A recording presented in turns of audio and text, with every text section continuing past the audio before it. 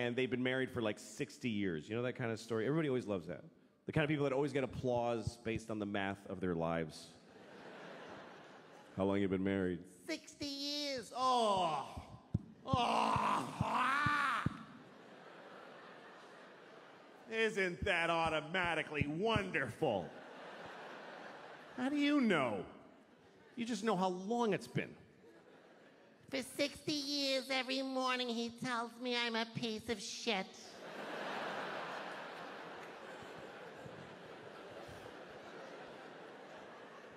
But let's just say this is a happy couple, okay? They love each other. They've been married for 60 years. That's longer than most people really want to be alive, and they've been together that long. And now they're just an old couple, and they just walk together. You know when you see two people? And it's kind of lovely. They don't need anybody else. It's just the two of them. This is both of them. They just walk. They always walk somewhere nobody walks there. It's trash. It's trucks. He's wearing a suit that is not a color. She's wearing a dress that's like a triangle, like a kid drew it. It's just fucking a dress with fruit on it. Nobody cares. And they just walk every day. It's cold.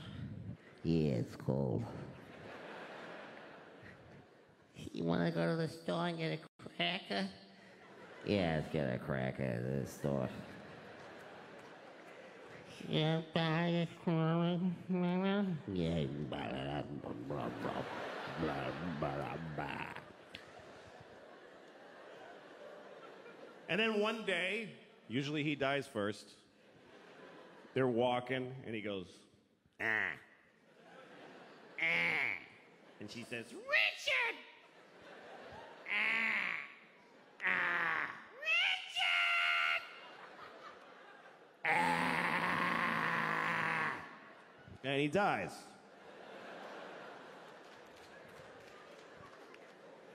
So now it's just her, just Rose.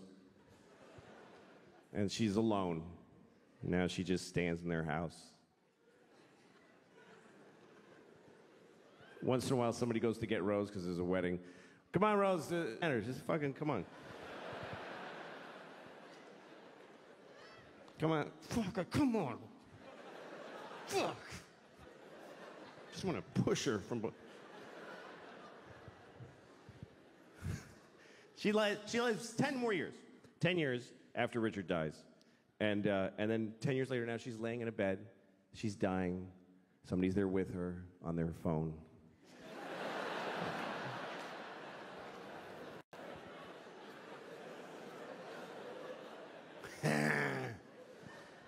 so Rose is dying, and she says, Well, at least now I get to be with my Richard forever.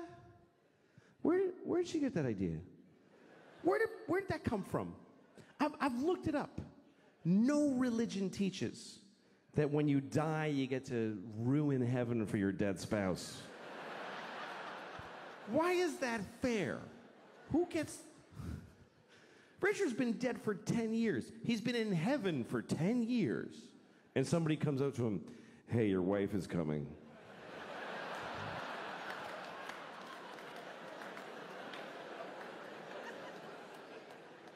What? Me just now? Yeah, Rose just died. She'll be here in about 20 minutes.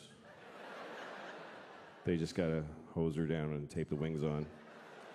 And then you're gonna be together forever. Wait a minute. Fuck. You said this was heaven. Why is this? I have a girlfriend here now. I don't wanna fucking.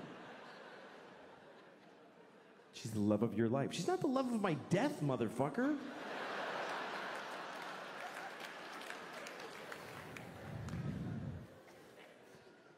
That's marriage. Marriage is a big deal.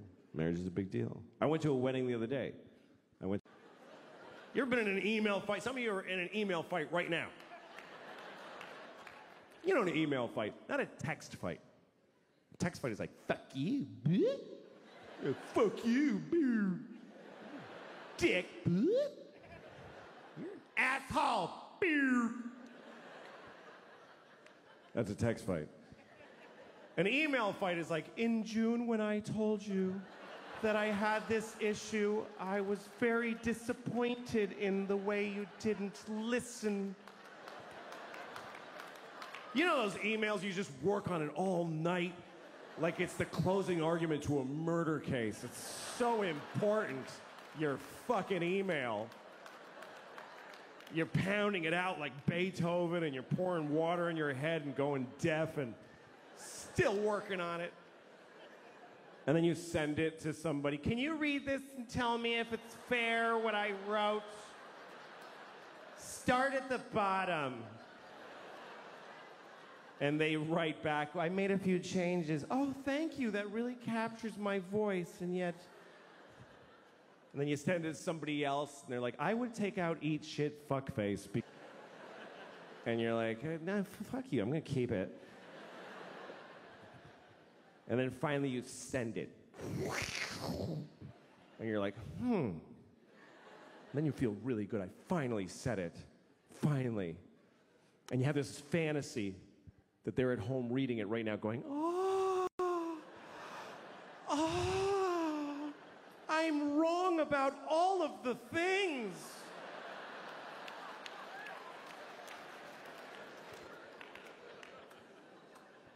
And at some point during the day, they haven't written back yet, cause, and you know it's because you just bewitched them. and you decide, I'm going to read my email. I'm going to read the email that I wrote. Is there any more disgusting modern human behavior than reading your own already sent emails? Is there any more scratching your asshole and smelling your finger than, than that? I do it all the time. So that's what I did. I was in an email fight, and uh, and I looked in the sent folder where it's all that's it. It's in stone. You can't change that anymore. And I realized by mistake it said, um, "This is my latest draft. What do you think?"